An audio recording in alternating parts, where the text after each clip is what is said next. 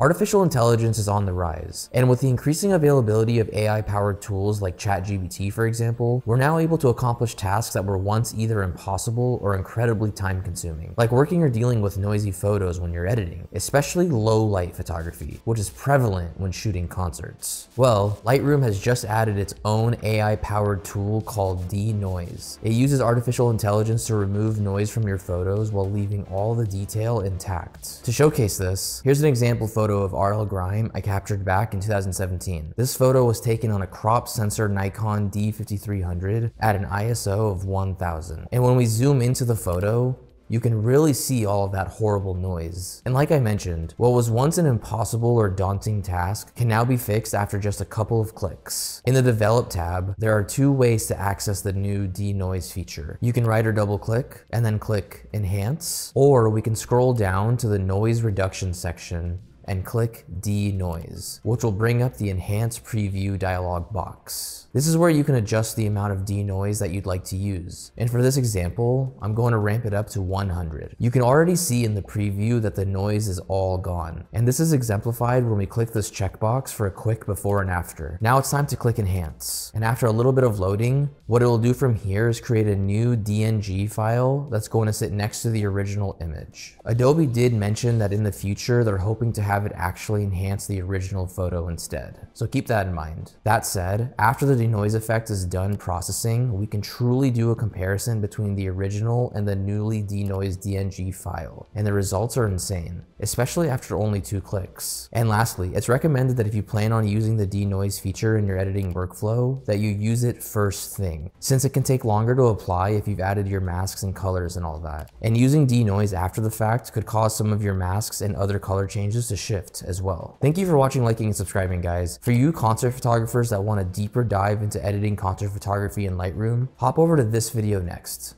I'll see you there.